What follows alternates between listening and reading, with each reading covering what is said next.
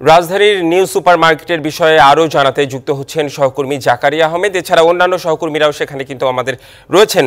জাকারিয়া আহমেদ, আপনার কাছে জানতে চাই যে আপনি তো সেখানে আছেন এবং সকাল থেকেই তথ্য জানাচ্ছেন আমাদেরকে।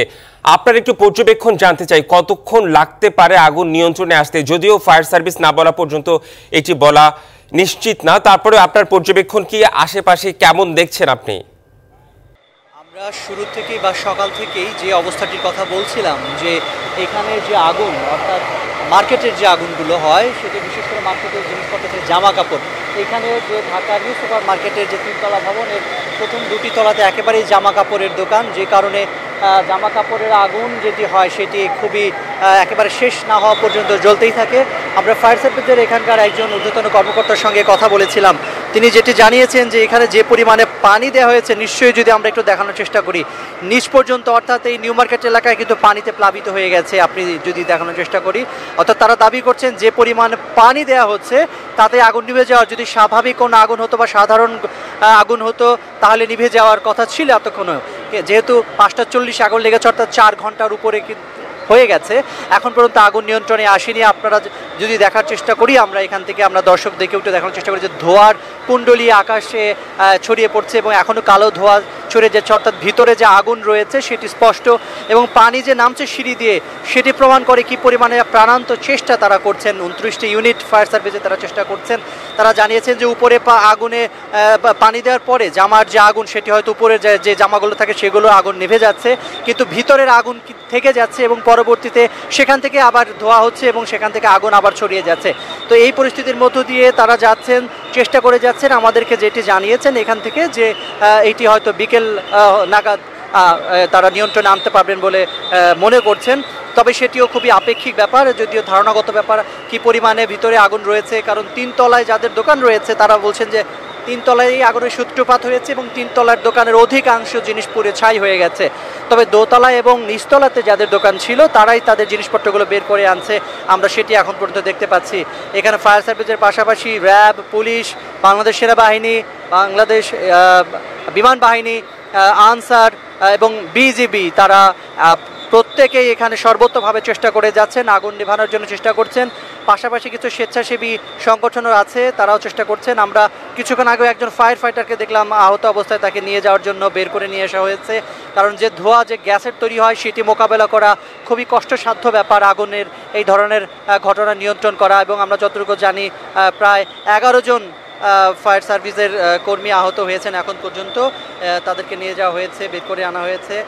এবং একে তো প্রচণ্ড গরম তারপর সঙ্গে সঙ্গে রোজা রয়েছে রোজার চলছে এবং এই রোজাতে যে ব্যবসাটি হয়, ব্যবসায়ীদের সেটি সারা বছরের তুলনায় সবচেয়ে বেশি।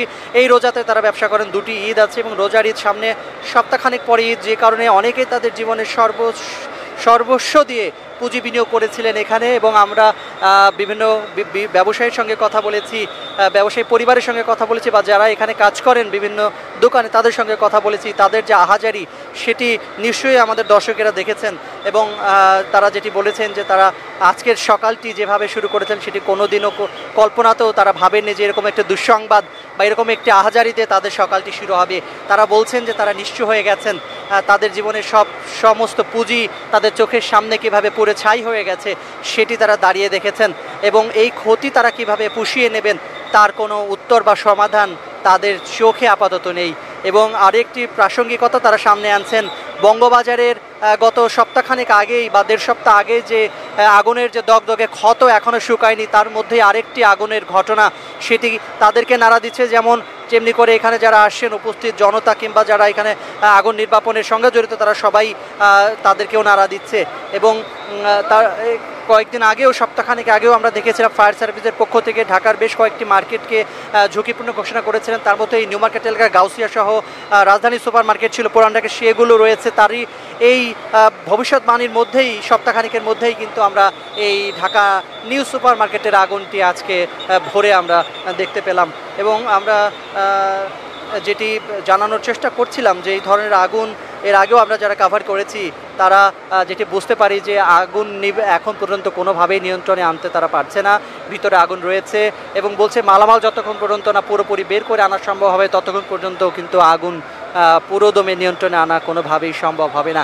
তবে তার চেষ্টা তারা করে যাচ্ছেন। আমরা একটু দেখানোর চেষ্টা করছি যে এখনও যে ধোঁয়া দেখতে দেখা দেখা যাচ্ছে, সেটি আমাদের ক্যামেরার কতটুকু দেখাতে পারছি আমরা সেটি বুঝ- বোঝাতে পারছি না হয়তো। কিন্তু এখানে এই আশপাশের আকাশ ধোঁয়ায় আচ্ছন্ন হয়ে গেছে। পাশাপাশি এখানে চন্দ্রিমা সুপার মার্কেট রয়েছে এবং পাশে নূরজাহান সুপার মার্কেট রয়েছে কিংবা আরও অনেকগুলো দোকান রয়েছে। পাশে নিউ মার্কেটের কাঁচা বাজার রয়েছে। প্রত্যেক মার্কেটের দোকানিরাই এখানে এসে ভিড় করছেন, শঙ্কা প্রকাশ করছেন বা তাদের উৎকণ্ঠা রয়েছে যে তাদের মার্কেটে আগুন ছড়িয়ে যায় কিনা বা এই আগুন আরও বেশি ছড়ায় কিনা।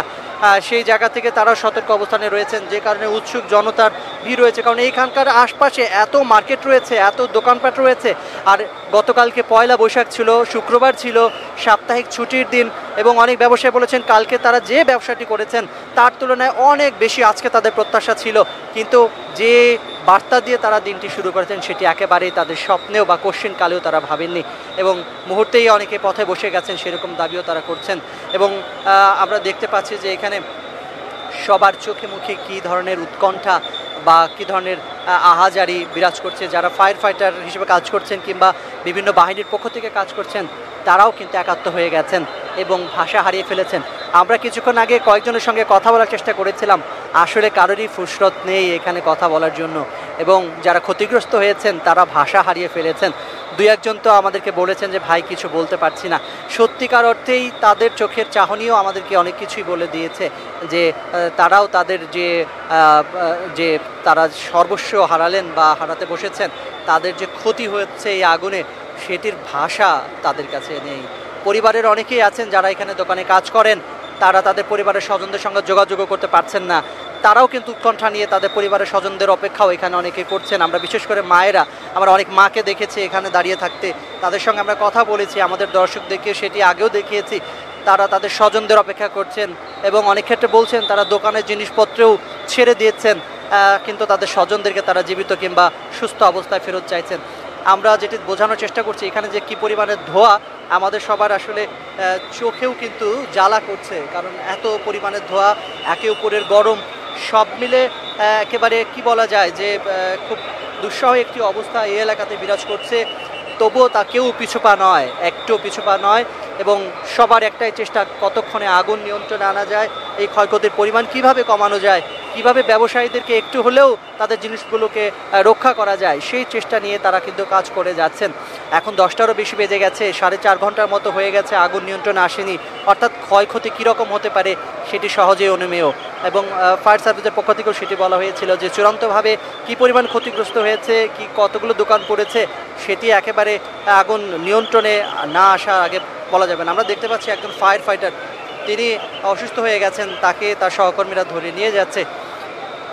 আসলে প্রাণান্ত চেষ্টা যেখানে চলে সেখানে অনেক কিছুই মনে থাকে না, তাদের জীবনের ঝুঁকি নিয়ে কাজ করে যাচ্ছেন। আমরা আরেকজনকে দেখতে পাচ্ছি, এখানে তাকেও আহত অবস্থায় বের করে নিয়ে আসা হচ্ছে।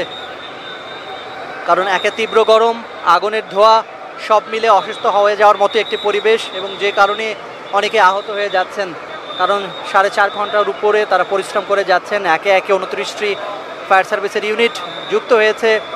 পাশাপাশি বাংলাদেশ বিমান বাহিনীর সদস্যরা যোগ দিয়েছেন, বাংলাদেশ সেনাবাহিনীর সদস্যরা যোগ দিয়েছেন, বিজিবিরা রয়েছেন, র্যাব রয়েছে, পুলিশ রয়েছে, আনসার রয়েছে, সবাই চেষ্টা করছেন এই ক্ষতি কীভাবে কমানো যায়, অর্থাৎ আগুন কীভাবে নিয়ন্ত্রণ আনা যায় সেগুলো। আমরা অনেক ব্যবসায়ীর চোখে অশ্রু দেখেছি এবং অশ্রু শুকিয়েও যেতে দেখেছি এখানে কাঁদতে কাঁদতে। কারণ তারা বলছেন যে এই অশ্রু বা এই ক্ষতির জন্য তারা প্রস্তুত ছিলেন না এবং এই অশ্রুর জন্য এবং এই অশ্রু কীভাবে তাদের চোখ থেকে শুকিয়ে যাচ্ছে সেটি তারা বলছেন যে তার কোনো ভাষাও তাদের নেই। এই ক্ষতি পুষিয়ে কীভাবে নেবেন? তার উত্তরও তাদের কাছে জানা নেই।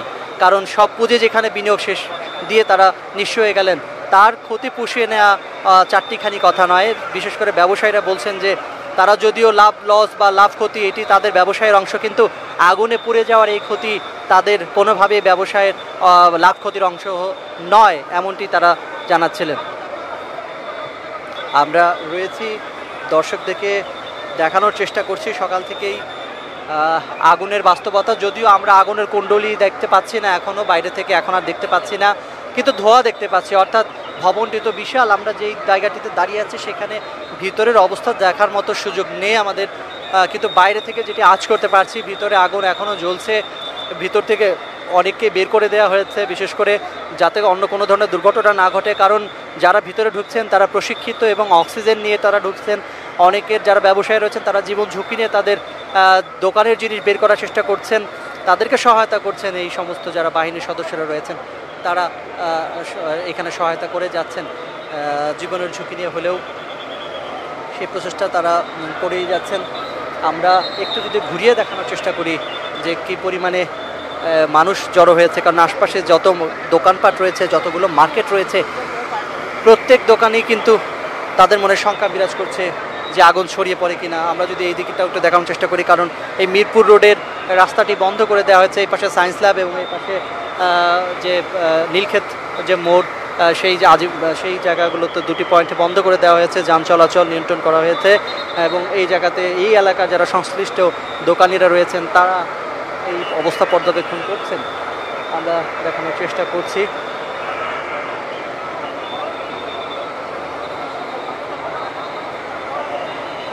সব মিলে আগুন এখনও নিয়ন্ত্রণে আসেনি, সেটি বলা যায়।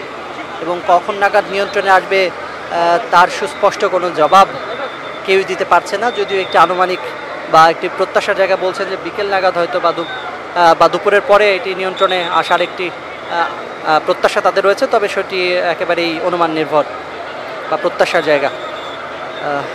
এখন অনেকে আমরা দেখতে পাচ্ছি অনেক সদস্যরা পানি চাচ্ছেন, অর্থাৎ এত গরম তারা কাজ করতে করতে তেষ্টা পেয়ে যাচ্ছে এবং খাবার পানি সেটি অনেকে সরবরাহ করছেন। এখানে আমরা দেখতে পাচ্ছি যে একজন ফায়ার ফাইটার বা একজন দোকানি এবং আরেকজন দোকানি এখানে বসে পড়েছেন এবং আহাজারি করছেন। নিচে একটু দেখানোর যদি চেষ্টা করি আমরা।